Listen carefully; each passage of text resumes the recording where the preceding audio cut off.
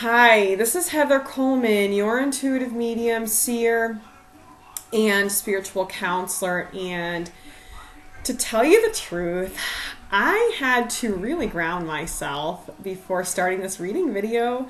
The energy is so big and so exciting this week.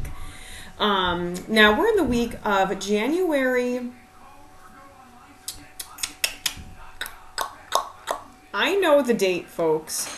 20 nope 3rd ah 23rd through 30th monday through sunday. And all right so a lot of big shifts. And the really amazing thing is i chose these cards took the photo without even looking at them and then said to my wonderful Jen, friend jen Kryko, a brilliant psychic in her own right the energy is so big, I've got to breathe through it. Well, we're going to see why right now.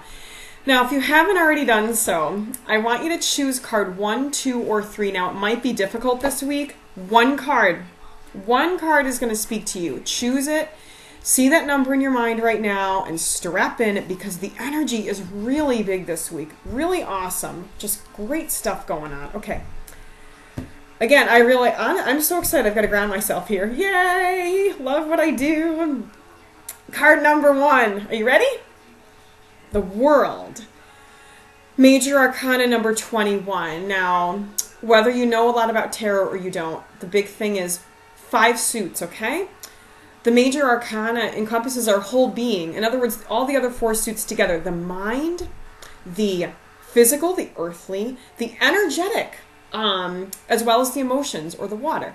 This is going to sweep across all four parts of your being. Now, if you've chosen card number one, this is um, soul growth. So, if you have been working hard towards the next stage to your spiritual or soul growth, this card is saying to you, Congratulations, you have accomplished that milestone. You are accomplishing that milestone, and I'm sitting here super excited for you, wanting to know what is that milestone.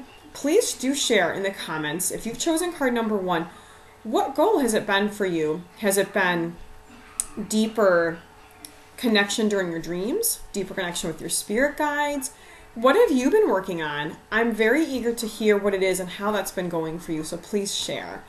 Um, and again, card number one you're doing it, babe. Whatever goal you set for your soul and your spiritual growth, boy, you are on the right track, and I want to hear all about it. Ah, I'm really trying to ground myself. Can you tell?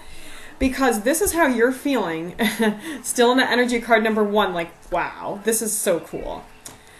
So, card number two also has a really big feel. Um, a little less like, whoa, I'm going to be carried away, but a lot of like big stuff going on. Now, Card number two is the Hermit, Major Arcana number nine. And the message is a little bit different. If you've chosen card number two, you are going through some pretty significant changes in your life.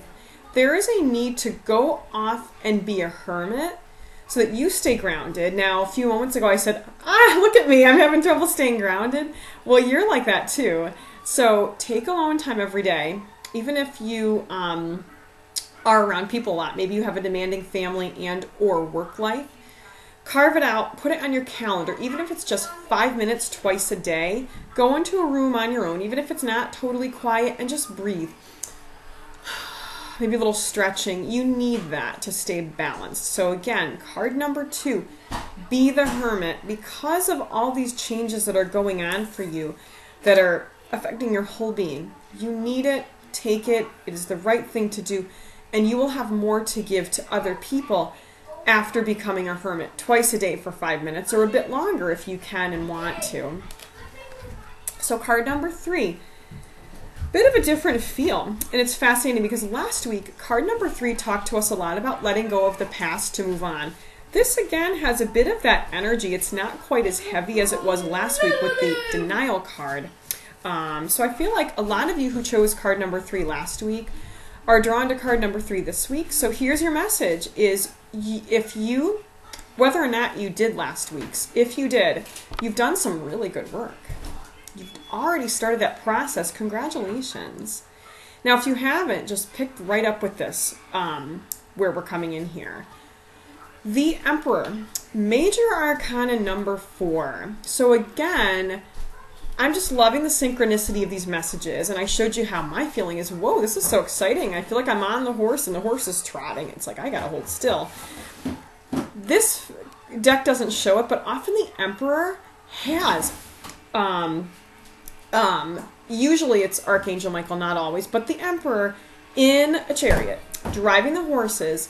And now the Emperor is able to keep things balanced. Now, the call for you is to do this to get things stable by creating structure.